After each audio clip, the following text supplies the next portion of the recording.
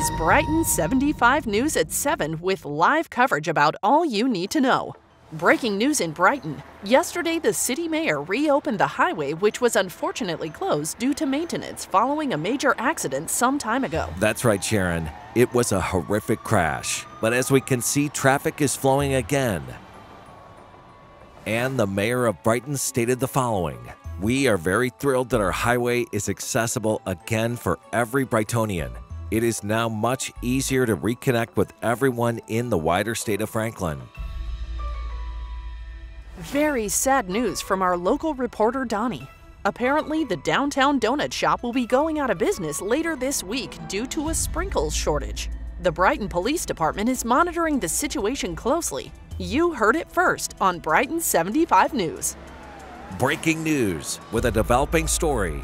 Apparently, a driver under the influence attempted to evade a traffic stop by the Brighton Police Department and is currently fleeing from the police.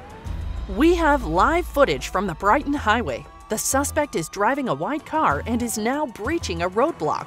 We will shortly return to this high speed chase.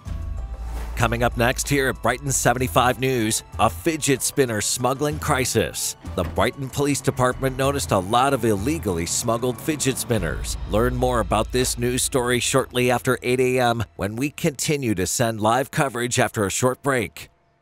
Police Simulator Patrol officers, pick up the chase. Get ready for the Highway Patrol expansion.